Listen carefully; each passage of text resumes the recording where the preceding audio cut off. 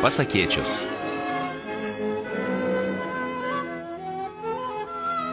Varna ir lapė, gegutė ir gaidys. Dvi Krylovo pasakėčius.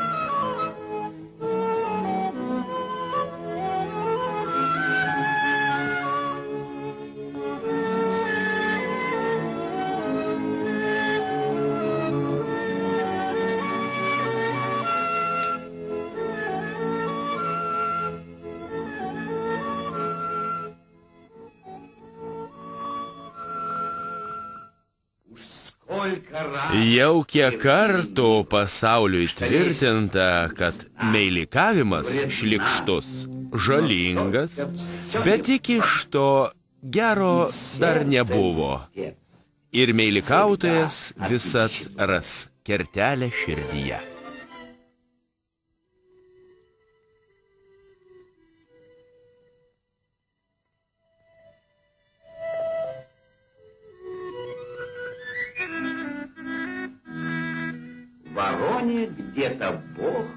Kartą Dievas Varnai iš kažkur atsiuntė sūrio gabalėlį, o Varna užsiropštus ant eglės rengės pusryčiaut, tik susimastė.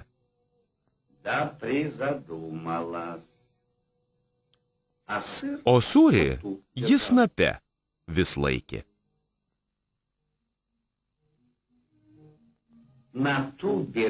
Nelaimiai pro šalį lapė bėgo. Staiga ją sūrio kvapas suviliojo. Laputė pamatė sūrį.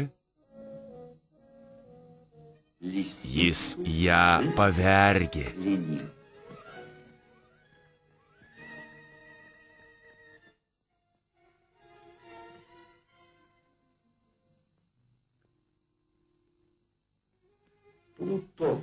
Ir štai prie medžio apgavikė ant pirštų galiukų ji prieina ir uodega vis visgina, nuo varnos jį akių vis net plėšia ir sako saldžiai, saldžiai, vos vos kvepuodama. Marangioji.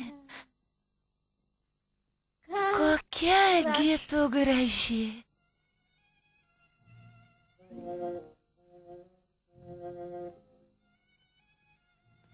O koks kaklelis.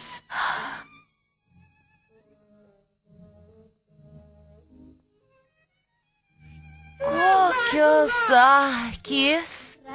Tiesiog pasakas seka.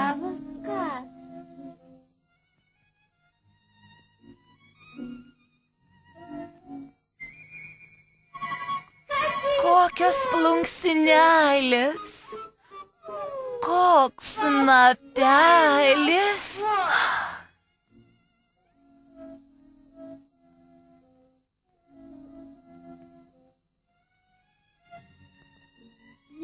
Tikriausiai angeliškas turėtų būti ir balselis.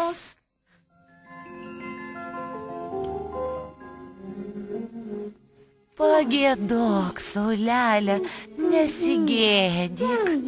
Pagėdok, jeigu sesutė, būdama tokia graži, dar ir gėdoti moki. Juk tu buvai mūsų paukščių paukštis. Nuo pagirų mūsų varnai apsisuko net galva. Iš džiaugsmo užėmė jai kvapą.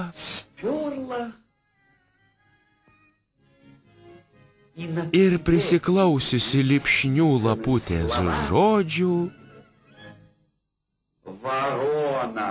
varnelė.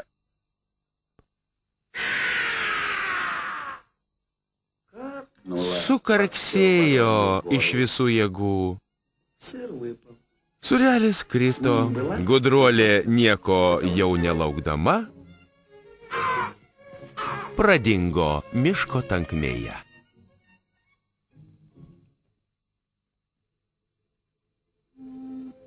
Gegutė ir gaidys.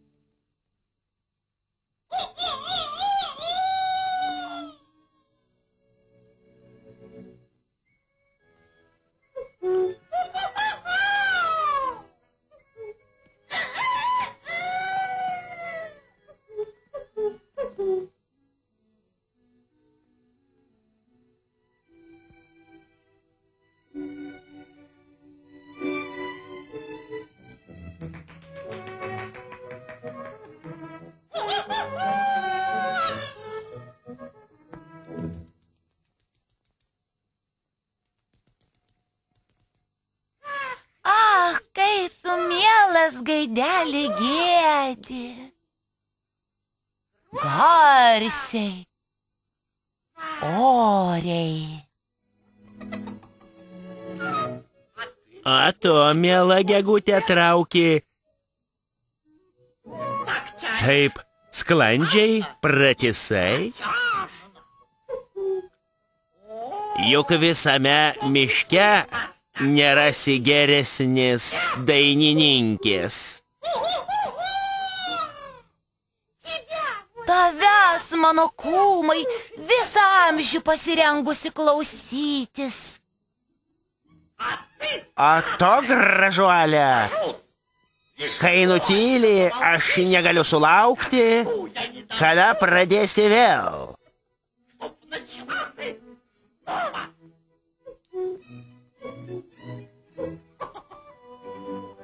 Iš kurgi tas balselis? Ir skaidrus, ir švelnus, ir aukštas. Taip, tai jūsų prigimtis. Tokia nedidelė, o giesmės. Lakštingala tau neprilyksta. Ačiū, kūmai. Tačiau sąžiningai sakau, gėdytų geriau nei, nei rojos paukščiai. Remiuosi visų nuomonę. Na, kiek sveiksime su ja?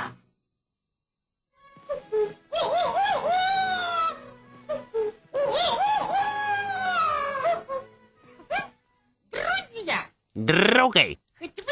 Nors ir užkimsite, begirdami viens kitą, bet jūsų muzika prasta.